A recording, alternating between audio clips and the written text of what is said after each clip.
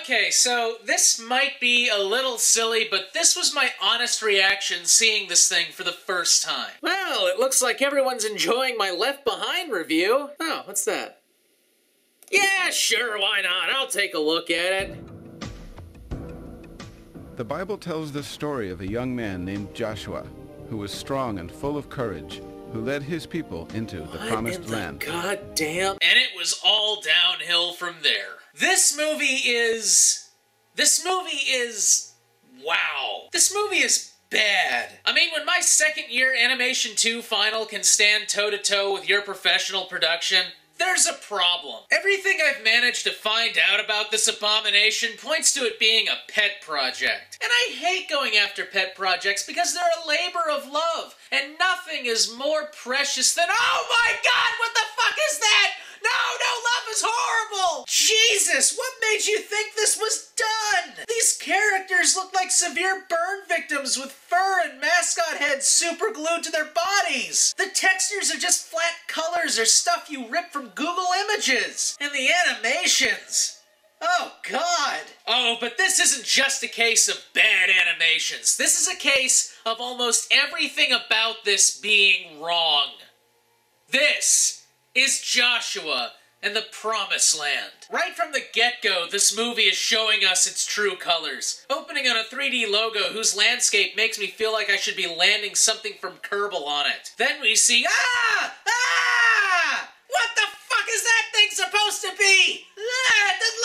Any skin! And what the hell is up with those eyes? It looks like someone poked holes in its fucking head! Why does he have a black bow tie on? And why are his arms tentacles? Eh, it looks like someone cut off its nose! No, no, you stop looking at me! You're too fucking creepy! But it doesn't end there, because after we meet skinned pig demon dog thing, we get to see the titular character Joshua, who's apparently watching a video of a lion fursuiter being vaporized by a poorly animated orb of fire. Then he moves, and the pure horror of what you're watching becomes evident. I mean, Jesus. You know, it might help your animations look more natural and less like I'm watching a badly decomposed corpse being dangled in front of my face on invisible wires if your models had, like, butts and muscle tone and clothes. Come to think of it, why is everyone naked? It doesn't really help that Joshua's, I guess, fur is flesh tone, giving him the appearance of being a ragdoll made of pigskin. The only other colors on him is the white fur on his belly and muzzle. But because his face lacks basically any detail and his nose is solid black, all the white fur does is make him look like a ragdoll made of pigskin with a fucking cat skull in its head with the bare bone exposed by the mouth hole. And really, if you're trying to make a kids movie, the design of your main character probably shouldn't bring that image to mind. Anyway, Joshua's flat-butted pigskin cat skull horror toy father comes in and acts like a dick to him. Hi, Dad. Pick up your stuff, Joshua. Then he sits down and gets into a fight with the slightly modified clone that he married. Well, if you would just stop spending so much time on that car of yours, I wouldn't get so upset.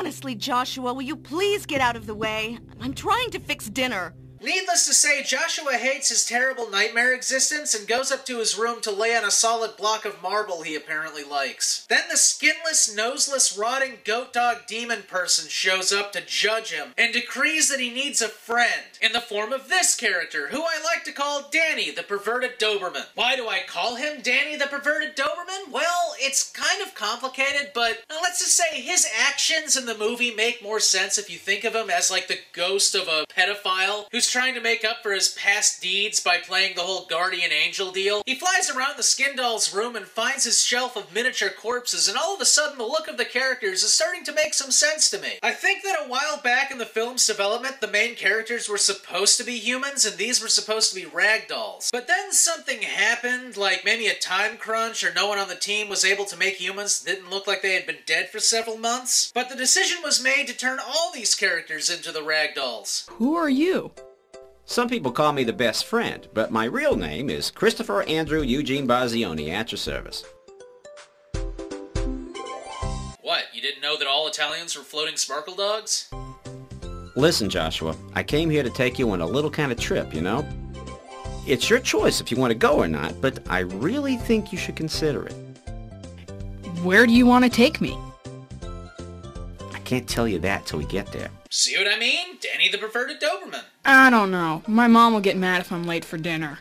Hey, I promise that I will have you back in time for dinner. Anyway, he manages to convince the kid to take his hand and leave the safety of his house to go on a special trip. Remember, kids, if a naked guy covered in glitter floats into your room and tells you you have to go on an adventure with him, you better go. Nice lesson to teach him, Joshua in the Promised Land. Well, yeah, he is floating, though. That's the caveat. If the naked glitter covered dude is floating, then you can believe him. Just make sure you don't let go of my hand.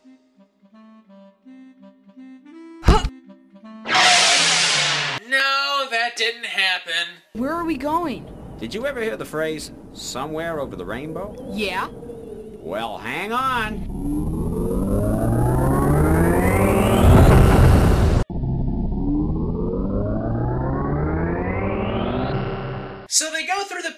Portal and end up in low poly Egypt. Here we go. Here we go. Relax. Oh, Danny. You pervert. Get the fuck away from that kid. If you've never seen one, this is a pyramid. It was built by the Jews, who were slaves of the pharaohs a long, long time ago.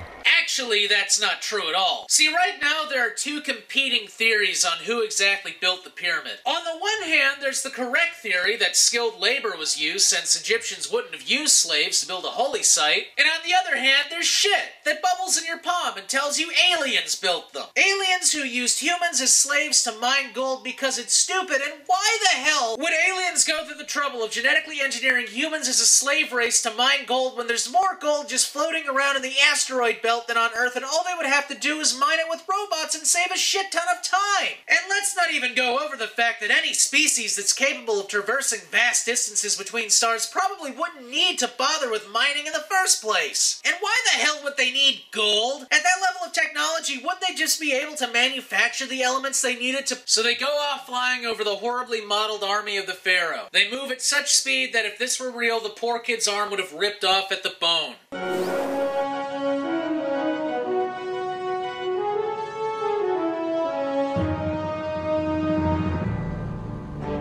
Me my chariot! Oh, wow. I. Okay, the Pharaoh's a gorilla. What? I. I don't even know how to respond to that. I mean, look at it. It's insane. I mean, where do I begin? Why is he a gorilla? Why is he walking like he's bobbing his head to something? Why are his eyes bloating out of his face? And what the hell is that thing on his head? And don't for one second tell me that's an Egyptian headdress, because right now it looks more like a big bone tumor. And what the friggity fuck is up with that horse's leg? Why does it dislocate when it moves? That's not how a horse moves. You know, some people just never learn. God can hit them right over the head with a big thick hammer and they still don't get it. A big what? With a big thick hammer and they still don't get it. Is this real? Like, am I actually reviewing an elaborate hallucination, or is this a real thing that was made? Because if it is, man, fuck it, I give up. If you never take my advice again for as long as you live, take my advice on this. When you fight against God, you always lose. What the hell kind of expression is that supposed to be? When you fight against God, you always lose. The two then fly over a sea of no clipping horses and go through a canyon that I think might be somewhere in Kerbal's western continent when they come across a wall of what's supposed to be fire. It may be cool, kid, but it's something we can't go near. That's the presence of God there protecting the Hebrews. No man can touch it and live. Come on!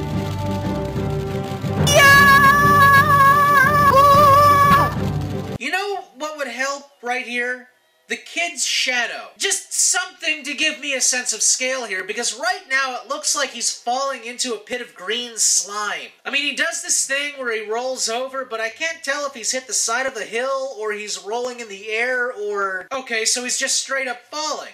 So what the hell did he hit there? Fine, fine, I'll stop criticizing the animations because honestly, if I didn't, this review would be hours and hours long. But you see this? You see this this thing right here? That is but a taste of things to come in this movie. Just let that swim around in your head. Listen, Joshua. Sometimes a no means maybe. I'll grant you that.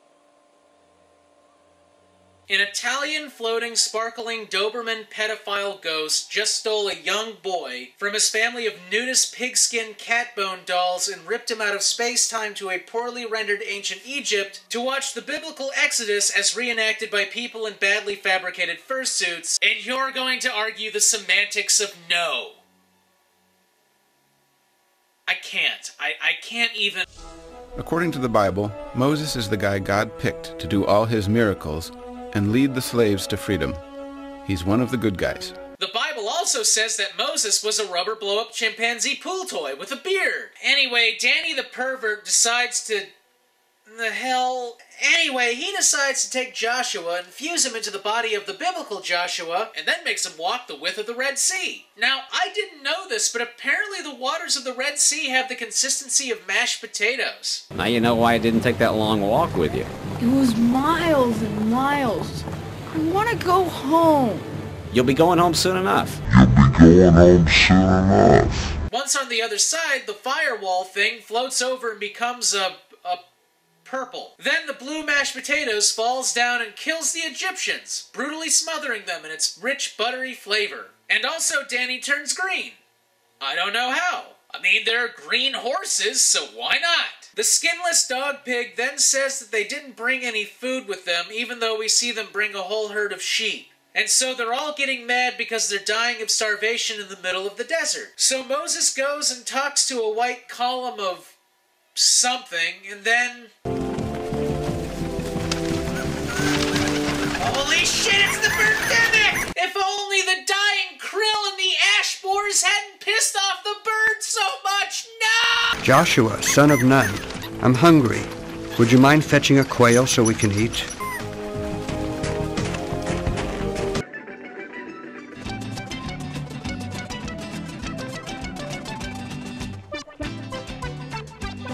Eh, you might not want to eat that. It looks like it's gone a little rancid. But they don't have to eat rotten bird for long because God starts making it rain Jewish cookies. So many Jewish cookies that it actually affects the frame rate of the universe. Quail didn't last long, so God also gave them something called manna.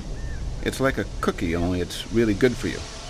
Joshua likes it. How can you tell if Joshua likes it? That expression could mean literally anything in this place. But then the Amalekites show up, and poor Joshua is forced to lead an army of foreground, background confused, bloated anthropomorphic tigers, pandas, monkeys, and blue cows versus an army of. Okay, seriously, what the hell are those things supposed to be? Are they goats? Demons? Whatever they are, Joshua kills a fair amount of them. Now keep in mind, he might be in the body of an adult, but he's only 9 or 10. And this isn't like shooting someone either. That would be bad enough, but this is a sword fight. He's sticking that blade into people, feeling it cut and slice up their insides. Now, I know this is a Christian children's movie and they're trying to make it exciting, and I know these are the enemies of God and are therefore supposed to not be thought of as people with thoughts and feelings and loved ones and a desire to live because only people God likes have those. But even with all that, he's still killing people. Even if you're a soldier and have been training for months to do that, it still kind of fucks you up a little. I try to not get too analytical when it comes to cartoons, especially poor ones. But here's a list of things poor Joshua is probably in for thanks to Danny the Pervert's insistence that he go out and stab people. Sleeplessness. Re experiencing the events through vivid nightmares. Emotional numbing. Persistent fears and or jumpiness. Sudden angry outbursts. Losing interest in activities that were enjoyable in the past. Forgetting how or being unable to talk. Nausea. Loss of appetite. Unexplained headaches. Long term inability to deal with social interactions. Learning difficulties. Inability to gain or maintain meaningful relationships. Suicidal behaviors and an increased risk of suicide. Thanks, Danny! Are you in any pain? Of course not. Luckily, Luckily, though, Moses was able to keep his hands in the air, so they win. Joshua is then forced to walk through a field of corpses and try and sleep that night. During the night, God tells Moses that if the Hebrews follow all his laws, he'll like them more than everyone else. Now, if you keep my covenant, then out of all nations you will be my treasured possession. They all go up on a mountain where God has for some reason created a level brick pad where they all gather around a cylinder of fire with a bunch of what I can assume are sparkling ghost perverts floating around it. And what is with these off layers? Did you not watch this before you put it on DVD? They all sit down and eat Play Doh.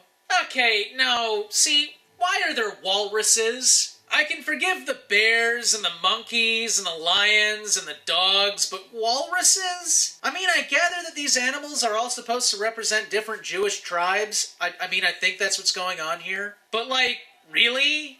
Walruses? I'll give you credit though, out of all the animals, their heads are the most detailed. Joshua, then, having not suffered enough in the sex hungry eyes of Danny, is now forced to walk up the mountain with Moses and made to sit waiting for him for days without food or water. Too happy, does he? I feel like giving him a book or something, poor guy. But that's all right. Hardship can build good character. Yeah, but the thing is, we kind of already went over the sort of character we can look forward to in Joshua's future. They go back down and find everyone's worshipping a golden statue of a lump of coal. Moses gets all mad, so he breaks the tablets that God just made before making everyone drink golden mashed potatoes for not understanding how to be in the foreground. Cut to several years later, and a hyper paranoid Joshua, who still hasn't yet learned how to be properly integrated into a shot, is spying on a city called Jericho that's inhabited by demons, so the intended audience doesn't have to burden their delicate little minds with thinking of any of these people as, you know, people. He also sees them sacrifice a baby. This helps play into the whole demon thing, too. Hi, kid. Hi, Chris. Hey, kid. I'm not a genius, you know. But even I can tell something's wrong. What's bugging you? Gee, I don't know, Danny. You know, it might have something to do with you stealing me from my home three years ago and making me trek across the desert. Maybe there's something wrong with me because I was nearly starved to death three fucking times. And maybe I'm a little pissed off because you made me participate in a fucking sword battle, Danny. I fucking killed people. Moses said God promised the land to our ancestor Abraham, and that we have to scout it out now so we can plan our invasion. But we can't take over the land without getting rid of the people who are already here. Oh boy. Hmm, I have to very quickly justify killing everyone. Josh, uh, when you were scouting Jericho, did you see anything weird? Like evil, bad, uh, weird? Yeah, they killed a baby. Aha! Ritual sacrifice. Don't you see? These people are doing things detestable to God. They murder, they steal, they commit adultery. The point is, they're breaking all Ten Commandments, and God has decreed they've got to go. But Danny, you do know that when I say get rid of, I mean kill all of them men, women, and children. Are you saying that it's bad for them to do something God doesn't like once a year or so, but it's okay for us to do it wholesale? At what point is it okay to kill kids, Danny? Well, I guess if you put it that way. Good man. There's a big difference between fighting a war when people just want to kill you and fighting one to make the world a better place. It's a lot harder to find that kind of courage. So, wait a minute, wait a second here, skin dog pig man. I mean, I'm kind of assuming that if I'm going to war, people want to kill me already, but what are you saying? Are you saying that people who pose no threat to us should be killed regardless because we don't like them? Joshua tries to float this idea of mass murder, but the rest of the people are like, eh, we don't want to because we don't think we can take them. God doesn't like this, so he makes them wander around the desert for 40 years so they'll all die except Caleb and Joshua. So we can also toss watching all your friends die in a fucking wasteland on top of the tower of grievances that we can lay at the ghostly feet of Danny the perverted Doberman. Then one day Moses disobeyed God. It was a small thing, really. He was angry and he hit this rock with his staff twice.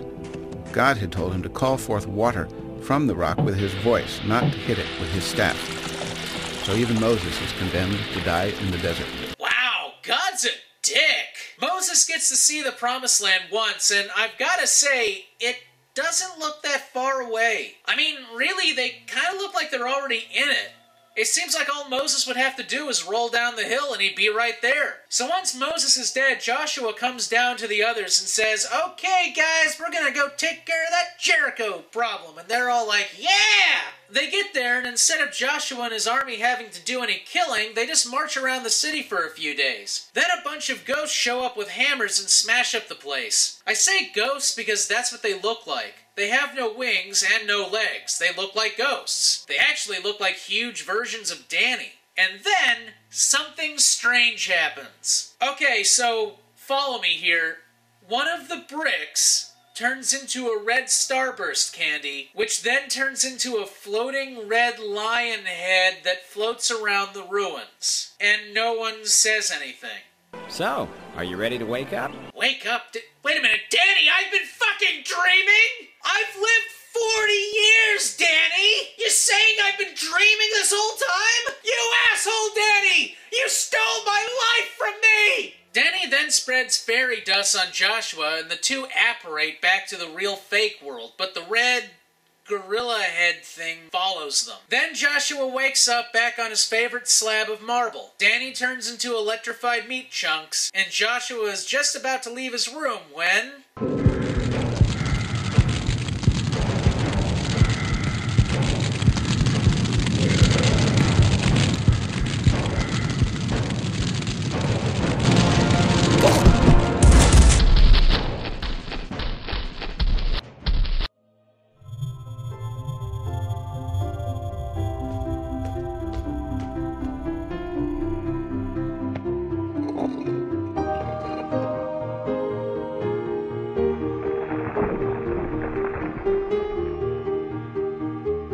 Joshua goes back downstairs, and instead of running to his parents and saying how much he's missed them because, you know, he hasn't seen them in 40 years, he just sits down to his dinner of a drumstick, a slice of toast, and mashed potatoes. Interesting plate choice. Now, I'm not sure what exactly happens here, but for some reason, Joshua acting normally makes his parents instantly turn into better parents.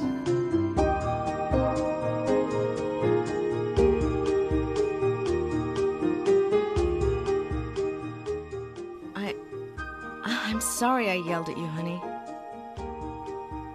It's okay. I forgive you.